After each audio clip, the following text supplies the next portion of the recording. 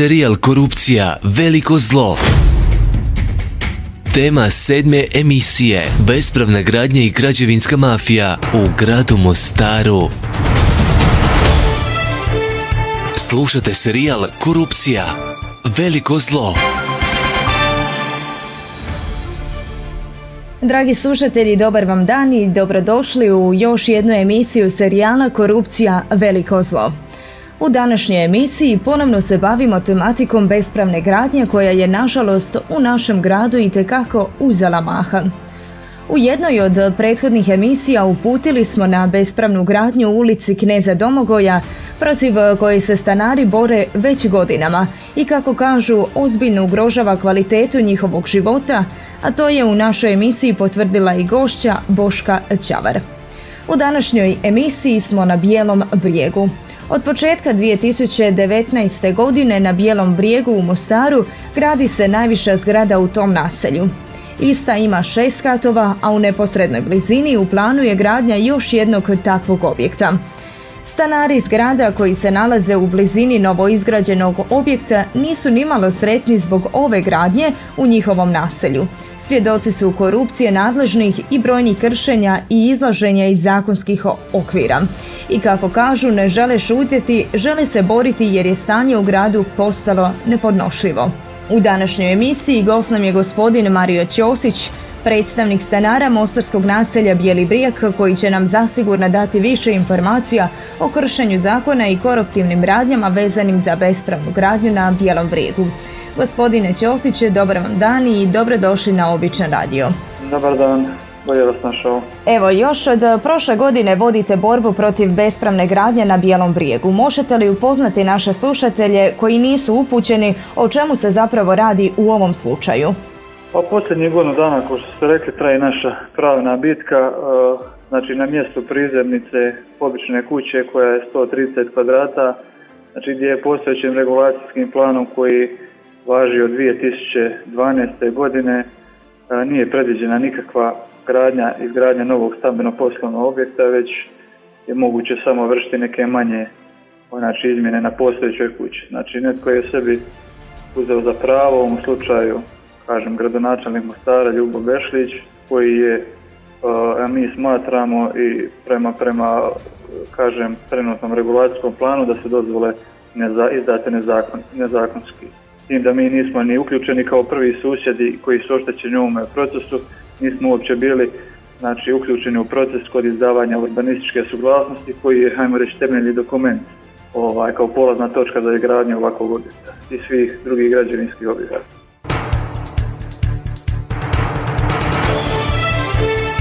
Slušate serijal Korupcija, veliko zlo. Dozvole investitora za gradnju nisu legitimne i to ste i dokazali, no na Bijelom brijegu i dalje se gradi. Nije li to klasičan primjer korupcije u našem gradu? Pa sigurno, evo, kažem, ovaj, ovo je klasični primjer kako institucije u Mostaru funkcioniraju, odnosno ne funkcioniraju. Znači, smatramo da, je, da, je- da se radi o nizu nezakonitosti, što su na kraju krajeva utvrdile i više institucije, u ovom slučaju drugostupanjski organ, ministarstvo graditeljstva. Gledajte, stvarno je teško do, doći do bilo kakvih dokumenata iz odjela za urbanizam.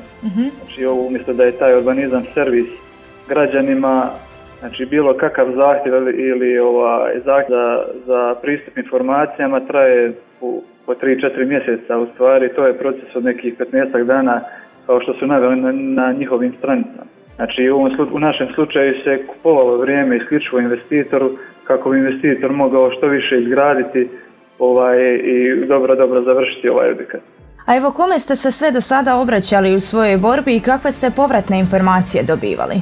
Pa Mi smo se prvenstveno obratili za ovaj problem e, put, preko našeg odvjetnika odjelu za urbanizam koji je izdao same dokumente. Znači, mi smo prvo uputili zahtjev za izdav, znači, pristup informacijama da bi prvo znali s čim raspolažemo, šta se gradi, jer nismo, kažemo, bili upućeni u ovaj proces, tako da je to bila prva točka. Znači, na, na dokumente smo čekali 3 do 4 mjeseca sigurno i nakon toga kad smo dobili dokumente, kad smo vidjeli s čim raspolažemo i da se stvarno radi o nizu nezakonitosti i kako su sve oni to napravili.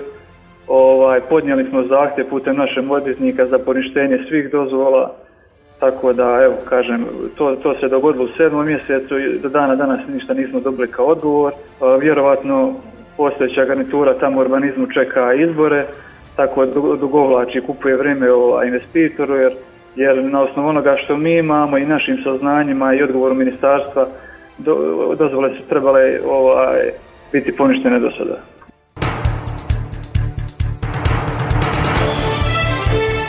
Slušate serijal Korupcija. Veliko zlo.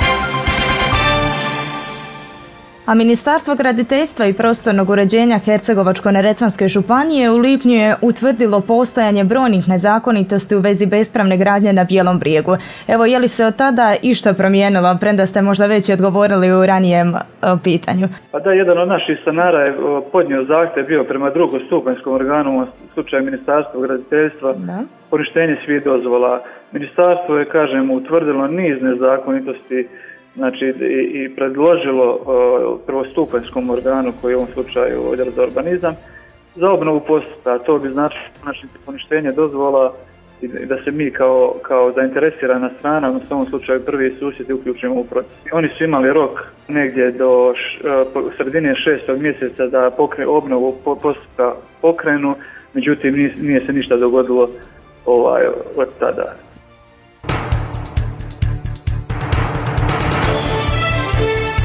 Slušate serijal Korupcija. Veliko zlo.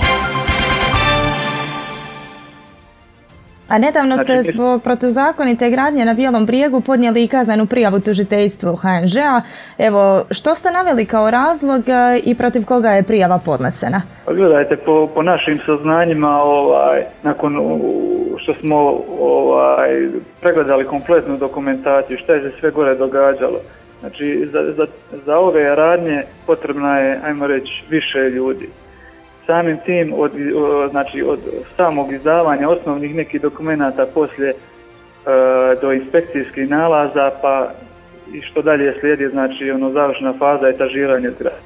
Znači, inspektori su izlazili, ja mislim, više puta, nisu ništa sporno utvrdili, osim ovoga šestog kata koji je ilegalno sagrađen, ali evo i do dan danas i taj kat odjel za urbanizam nije izdao, odnosno neće da izda rješenje da se i to ukloni. Premda i sami kažu da je to nezakonito. Mislim, čisto pogodovanje zbog nekih osobnih interesa investitoru, kao što su dobili dozvole, tako se sve ostalo i odbije.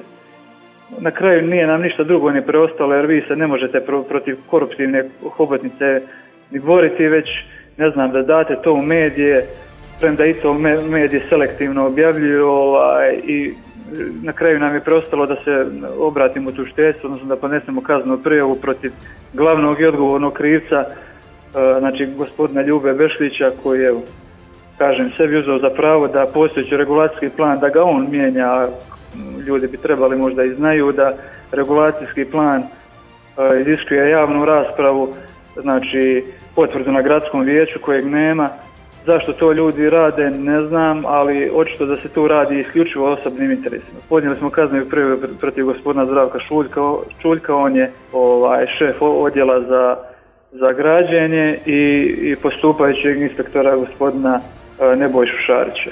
Mhm.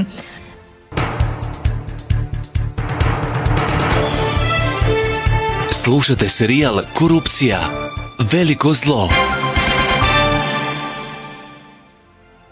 Bespravna gradnja u gradu Mostaru je dosta velik e, problem. Osim stanara Bijeloga brijega s ovim problemom susreću se i stanari ulice Kneza Domagoja. Bespravna gradnja zapravo je i očiti primjer koliko je korupcija zavladala u našem gradu. Vi ste jedan od građana koji se protiv korupcije i bespravne gradnje želi boriti. Što biste poručili slušateljima kako se aktivirati i krenuti u borbu protiv ovakvog stanja? Jer znamo da kao pojedinac malo toga možemo napraviti, ali kao kolektiv možemo učiniti mnogo za napredak našeg grada i sprječavanje koruptivnih radnji. Pa evo iz mog iskustva osobnog i ljudi iz Bijelog brega, meni iskreno nije malo jasno zašto se ljudi toliko boje. Znači mi nismo mm krali stanove na Bijelom bregu, to je naše. Znači došli su neki ljudi sa strane koji su na nezakonit način nešto napravili. Zašto se toliko, zašto je toliki strah, zašto ljudi, zašto nema toliko, malo više aktivizma.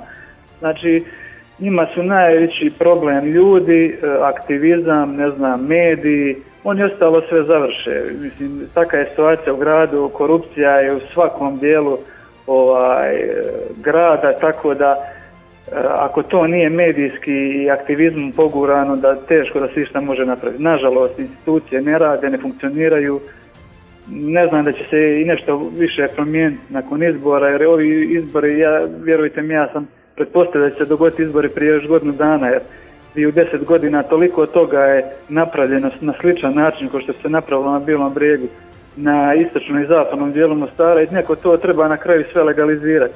A legalizirat će i oni koji su to i radili, tako da mislim da se ništa neće vele promijeniti. Gospodine Mario, hvala vam puno na izdanom vremenu i evo puno sreće u budućem radu. Hvala vama. Pozdrav.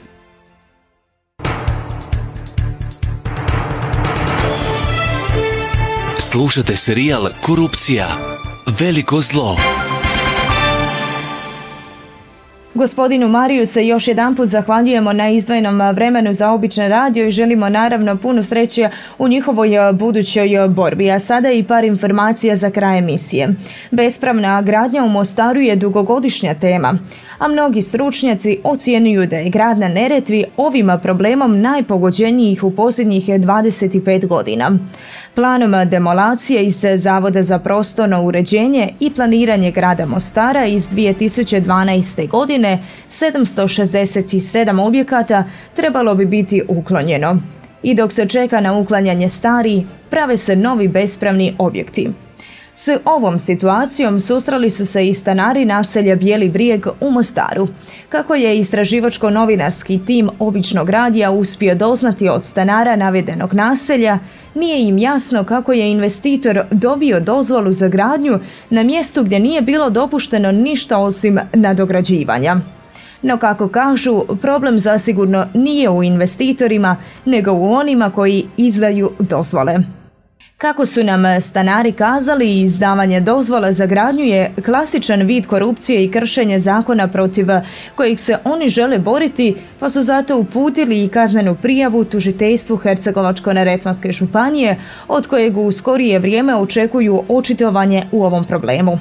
Vidimo kako je tema bespravne gradnje i građevinske mafije u gradu Mostaru zoran vid korupcije – niz nezakonitosti od neuključivanja susjeda u proces dobivanja suglasnosti, kršenja prostornih propisa, uvođenja susjednih objekata u zone opasnosti, ugrožavanje zdravlja i sigurnosti ljudi, nelegalne prodaje zemljišta, privatni prijavni liste, gradnje rupe bez dozvole, manjka dokumenata i puno toga drugoga dokazi se u problematike koruptivnih dužnosnika na vlasti i pojedinih osoba bez ikakvih informacija.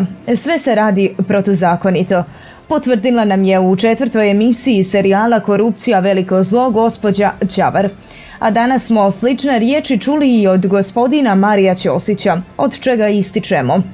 Netko sebi uzima za pravo da se dozvole izdaju nezakonito, a prvi susjedi koji su oštećeni uopće nisu uključeni u proces izdavanja urbanističke suglasnosti, koji je temeljni dokument za ovaj proces. Regulacijski plan iziskuje javnu raspravu, potvrdu na gradskom vijeću.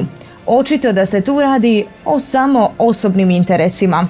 Ne znam da će se nešto više promijeniti i nakon izbora, jer je u deset godina napravljeno puno toga na bespravan način.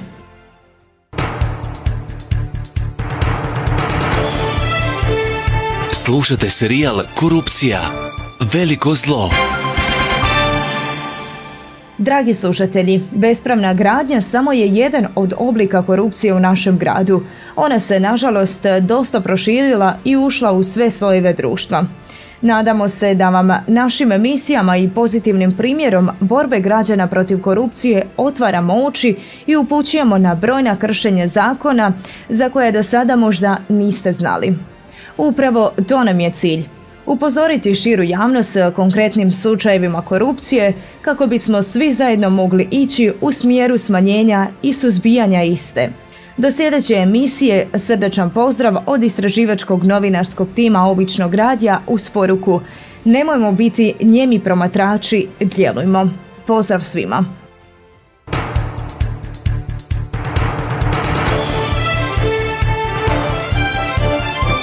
Slušali ste serijal Korupcija, veliko zlo.